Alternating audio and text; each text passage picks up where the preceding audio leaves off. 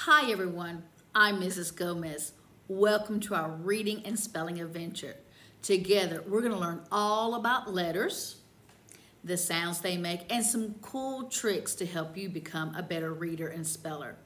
We're going to practice new words, fun sounds, and even use mirrors to see how we make each sound.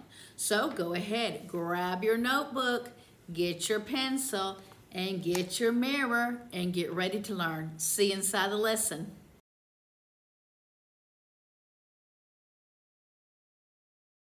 We are going to review 14 contractions that we already know. Remember, a contraction is two words that have been made into one word, and the apostrophe means that some letters have been taken out. In English, we have lots of contractions. So say the two words and the contraction with me. What is what? That is that's. He is he's. I am I'm. Who is who's. There is there's. Here is here's. It is it's. Where is where's. She is she's. Let us let's. Cannot can't. Do not don't. Now it's time for us to learn two more contractions. This one says should not shouldn't. Say it two times with me. Should not, shouldn't. Should not, shouldn't. Very good. And our very last one today, would not, wouldn't. Say it two times with me. Would not, wouldn't. Would not, wouldn't.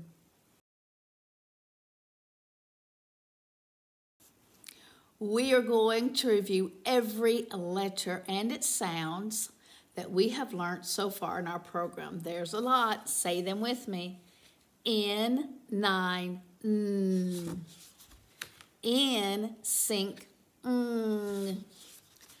Digraph, NG, ring, mm.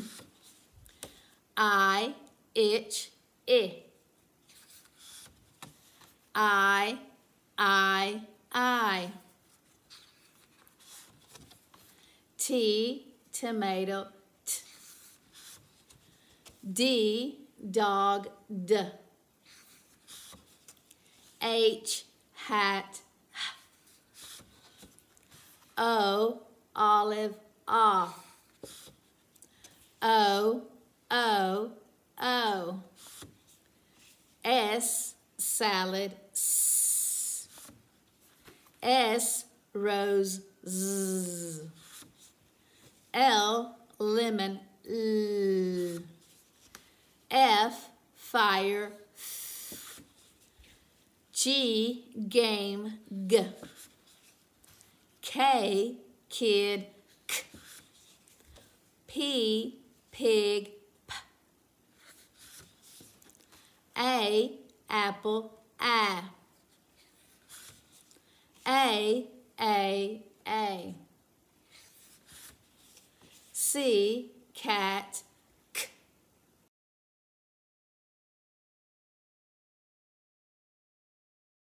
Okay, go ahead and take out your paper, take out your pencil, and let's write our numbers 1 through 15.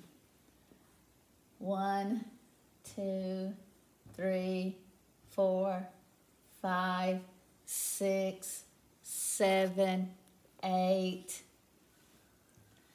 nine, ten, eleven, twelve, thirteen, fourteen, and 15.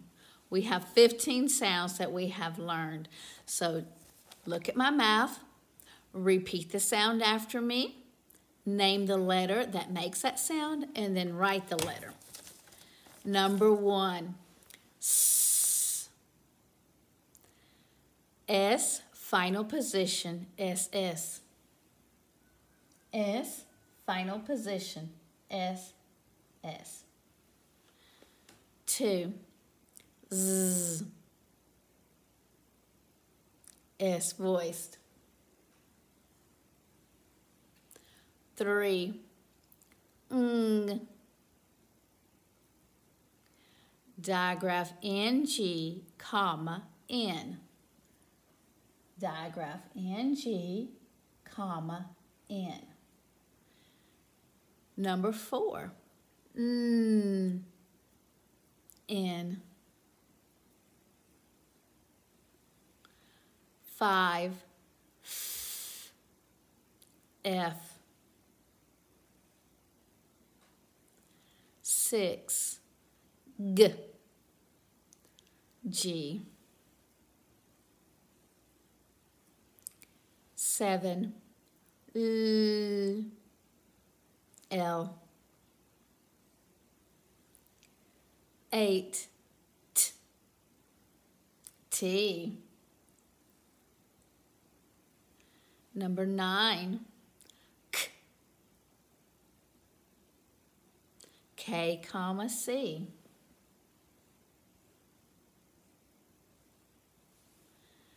Ten, H.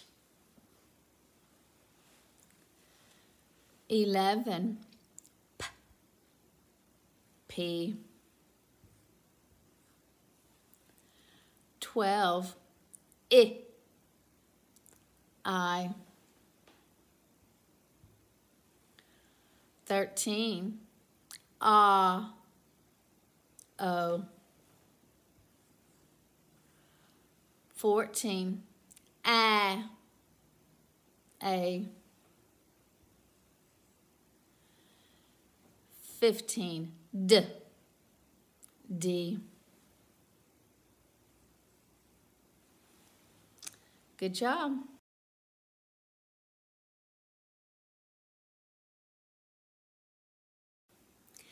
How many ways can the sound ng be spelled? Right, two. It's digraph ng and n. Let me write that down. So when we hear the mm, ng sound, we have two choices. It could be digraph ng or it could be n. Let me underline digraph ng here. If we have two ways to spell the same sound, we need to learn a spelling rule. Watch as I write these words on the board. R, I, N, G. S, A, N, G. Now look at this first column.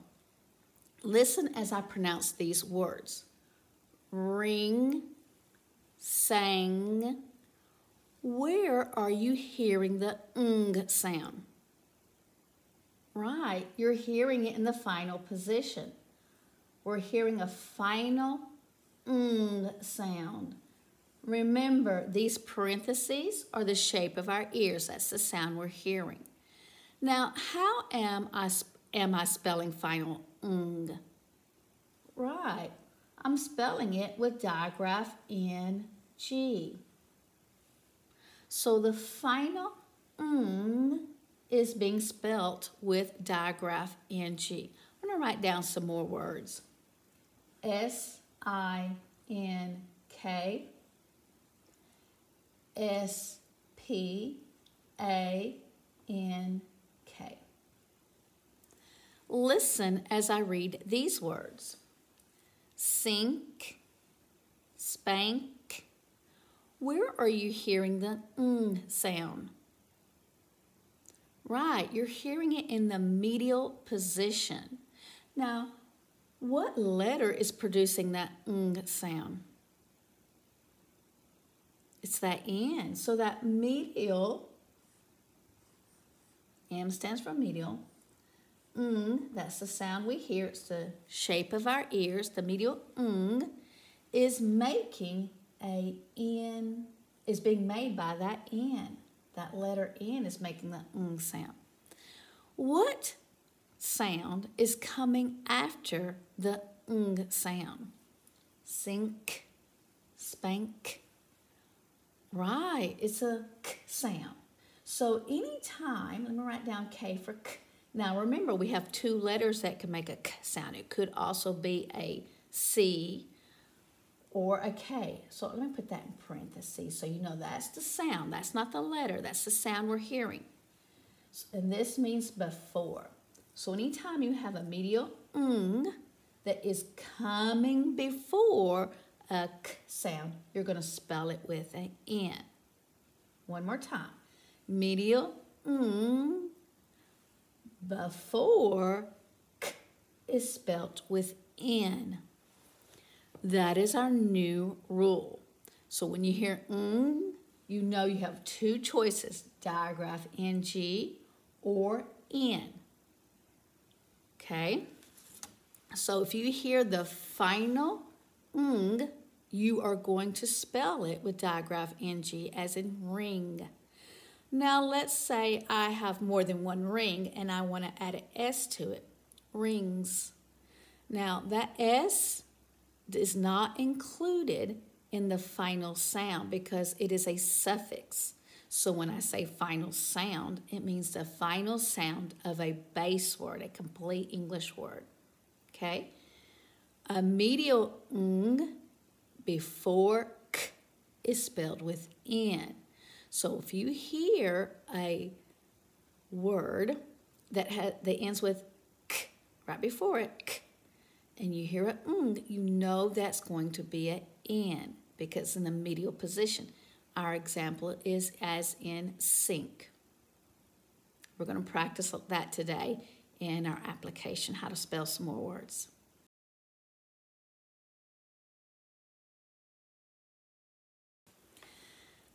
Today, I'm going to write two words down. Watch me as I write them. S I N.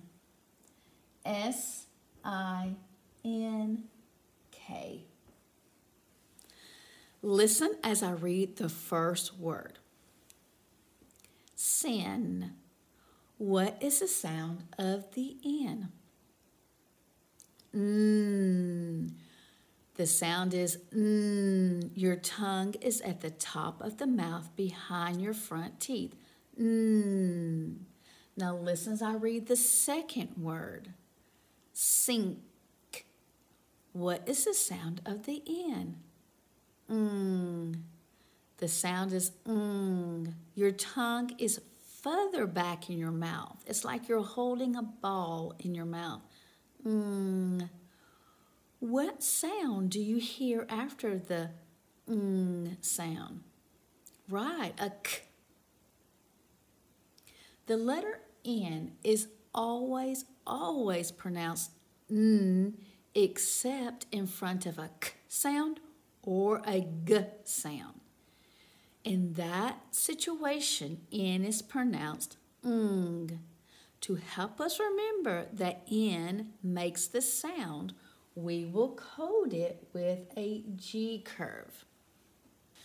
We are going to code some words and read them today, but let's review our code marks. Coding helps us to decipher words so we can read them correctly. We are practicing our code marks so they can get into our long-term memory. So in the future, we don't have to use them every time we come across a word. But right now, we're learning how to read fluently, so we're going to use them. Remember, if we have a suffix, we are going to circle our suffixes. And remember, S has two sounds. It can be a S sound or a Z sound, depending on the letter that comes in front of it. If it's unvoiced, then S is unvoiced. S. If it's voiced, then S is voiced. Z. Also, we have vowels. If we have a vowel in a closed syllable, it's short. We're going to code it with a breve. That's going to be short vowel sound. If we see a vowel in an open, accented syllable, we're going to code it with a macron, and it's going to say the name of the letter. That's the long vowel sound. If we see digraph NG, we're going to underline it to keep that together. If we see two like consonants side by side, we mark one out. Its sound will hide. If we see the letter C, the sound we're going to produce now for it is K. It's borrowing its sound from the letter K. So we're going to put a K back on it. And if we see an N that comes right before a K sound, we are going to put that G curve on it. Go ahead, take out your paper, take out your pencil, number one through four. We are going to code and read four words. One, two, three, and four. number one is K I N G S. K I N G S. Now, coding is going to help us to read it correctly. Let's look. Do we have any suffixes here? Yes, we have suffix S. So let's circle our suffix S. We know suffix S can have two sounds depending on the letter that's in front of it. What letter do you see in front of it? Oh, you're smart. You already see that digraph NG right there. So let's go ahead and underline digraph NG. What is the sound of digraph NG? Touch your throat. Mm, is it vibrating? Yes. So that means the S is going to vibrate. So let's put that voice line on it. Now let's find our vowel. Which letter here is a vowel? Right, the I. A vowel, is enclosed or open? Right, it's closed syllable because those consonants. A vowel closed syllable short, code it with a breve. What is the sound of short vowel I? Right, eh. Okay, we already found digraph NG. We have no two like consonants. We have no C. We have no N before sound. Can you read that word? Kings. Very good. Let's go ahead to number two. T O N G. T O N G. Okay, any suffixes here? No. A vowel? Of course. What letter? Good. The O. Is it in a closed syllable or open? Right. So a vowel in closed syllable short, code it with a breve. What is the sound of short vowel O? Ah. Very good. Do we have any digraphs? Yeah, we have digraph NG. Let's underline that so we know that sound stays together. What's the sound of digraph NG? Mm, very good. Any two like consonants? Any C's? An N before a K sound? No. Can you read that word? Very good. Tongue. Let's go to number three. S T I N K. S T I N K. Any suffixes? No. A vowel? Yes. And what letter? Yeah, the I. Closed syllable or open? Close. Vowel and closed syllable short. Code it with a breve. What is the sound of short vowel I? Eh. Very good. Any digraph NGs there in this word? No. Two like consonants side by side? No. What about a C? No. What about an N before K sound? Oh, yeah, we do. So an N before K sound is going to have a G curve. What sound does N before K? What sound does it make? Mm. Can you read that word? Stink. Very good. And our last word, number four, write this down.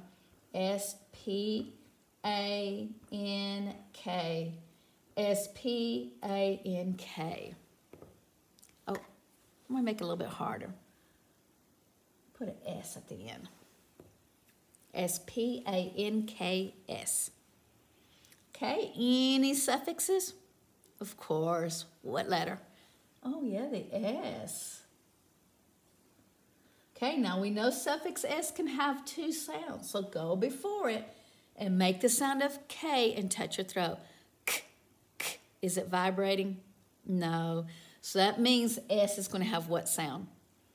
S. Okay. Where's our vowel here? Right, it's the A. Closed syllable or open? Right, close. Vowel and closed syllable short. Code it with a breve. What is the sound of short vowel A? Ah, good job. Do we have digraph NG here? No. Any two like consonants side by side? No. A letter C here? No. An N before a K sound? Oh yeah, we do. It's right here. N before K. Mm, we need to code that with a G curve because the N before K, what sound does it make? Mm, very good. Can you read that word? Spanks. Very good. That word was kind of tricky. Some of you might wanted to code that S, but remember, initial S always says S, so we don't need to code that. We always know it's going to make the S sound. Nice job coding and reading. Okay, take out your paper and your pencil. We are going to spell six things today. So number one through six. Here we go. One, two, three, four, five, and six. We're spelling six things today. And today in our new learning, we learned that the final ng is spelled digraph ng as in ring, but medial ng before is spelled in as in sink. Okay. Number one, repeat this sound. Name the letters that makes the sound, and we're going to write them. Number one, ng. Digraph ng, comma, n. Digraph ng, comma, n. Number two, it's another sound. Repeat the sound, name the letters that make that sound. K, K comma C. K comma C. Number three, we're going to spell a word. Repeat this word after me. Sting. Okay, let's make a line for every sound. S, i, ng. We hear four sounds. How am I going to write this? S, t, t, I, I, ng. Okay, we have two choices. We have digraph ng and an n. What position are we hearing that ng in? Sting, final. So final ng is going to be spelled right, digraph ng. Can you read that word? Sting, very good. Let's go to number four. The word is pink. Repeat that word. Okay, let's write a line for every sound we hear. We have a p, i, n, k. We have four sounds. What's a p? P. What's a i? I. What's a? Okay, I hear different answers. Our last sound was a k. How are we spelling this k? Well, we have two choices. Let me give you a hint. It's going to be K until I tell till I teach you how, which one to use. Okay, till we learn that spelling rule, let's put our K here. So we have a mm before a k, which is spelled K. And the ung is in the medial position. Remember, this is initial, this is final. Anything between initial and final is called medial. So all of this is medial. So we have a medial ng before a k is going to be spelled with what letter? Right, the N. Can you read that word? Good, pink. Number five is songs. Repeat that word. A line for every sound we hear. Song. songs. Very good. Wow, we got four sounds we're hearing. What's a s? Very good. What's a ah? O. And then we have a ng. And then we have a z, songs. What is what is the songs? What do you think this ng sound is? If you said digraph ng, you're correct. Because a z is a suffix. And remember, when you're looking at medial and final sounds, you're doing it without the suffix added. We know songs, the only sound right now producing a z sound would be s. That's a voice S sound. So this is a suffix. So song, the ng is in the final position. So final ng is going to be spelled with digraph ng. Read that word. Songs. Now, number six, our last word. Stinks. Repeat that word. Okay, let's write a line for every sound. S, t, i, n, x. Wow. One, two, three, four, five, six sounds. Okay, let's start with the very first one. S, S, T, T, I, I, N. Okay, before we make our decision, let's hear that next sound. K. Okay, so what is this going to be? Right, it's going to be an N. We're hearing it in the medial position. Medial is anything between initial and final. So this is the medial position. So we said when we have a medial ng before k sound, we're going to spell it with an N. So that's right. And we still haven't learned the rule between to use K and C. So everything today is going to be K. So here we go. So let's put that K for the K. Stinks. Our suffix S. Read that word. Stinks. Good job.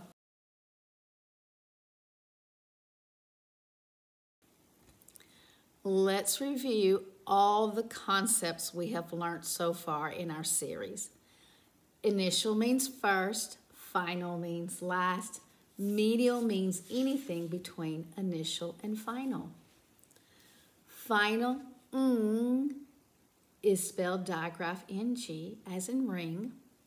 Medial ng before k is spelled in as in sink. This is the floss rule in a one syllable base word with a short vowel sound ending in f is spelled ff as in sniff. Ending in l is spelled ll as in hill. And ending in s is spelled ss as in pass. Final ss is pronounced s as in pass. The asterisk means this is a nonsense word. This is not a real word. The letter A in an open accent syllable is long, coded with a macron. This is the long vowel sound. A long vowel sound is the name of the letter. This nonsense word is pronounced pay. English words do not end with I.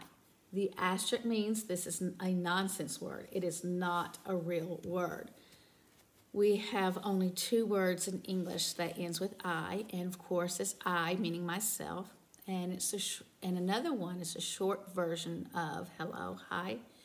Otherwise, if it ends with I, it's not from the English language.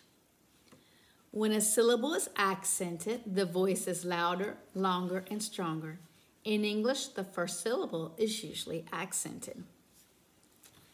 If a syllable ends with a consonant, it's called a closed syllable because consonants are closed sounds. If a syllable ends with a vowel, it's called an open syllable because vowels are open sounds.